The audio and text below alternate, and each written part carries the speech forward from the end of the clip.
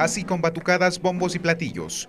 Militantes y partidarios de Alianza País recibieron en su arribo a Cuenca a Leonardo Berresueta, posible representante por el movimiento oficialista a la prefectura de la SUAY. Realmente una, una sorpresa enorme, agradecer a todos los compañeros que han venido a recibirnos en el aeropuerto, realmente no sabíamos, realmente una sorpresa. Luego del recibimiento se refirió a su posible candidatura, con miras a las elecciones de febrero del 2014. Nosotros estamos eh, listos y claros en que nos debemos a un movimiento, nos debemos a un proceso y si el proceso nos pide, pues por supuesto estaremos allí. Aprovechó para dar a conocer que el Buró Político Nacional, en sesión el pasado jueves, tomó la decisión de proponer el nombre de Paul Granda como representante a la alcaldía de Cuenca. No existe otro, otro nombre que haya sido puesto a consideración de la directiva nacional hasta el momento, consideramos que tampoco existirá otro nombre, con todo el apoyo del gobierno nacional, con todo el apoyo del movimiento Alianza País, ir a la reelección con Paul Granda y ganar las elecciones el próximo febrero 2014. Indicó que al interior del movimiento no se descartaron nombres políticos regionales como posibles representantes a la prefectura.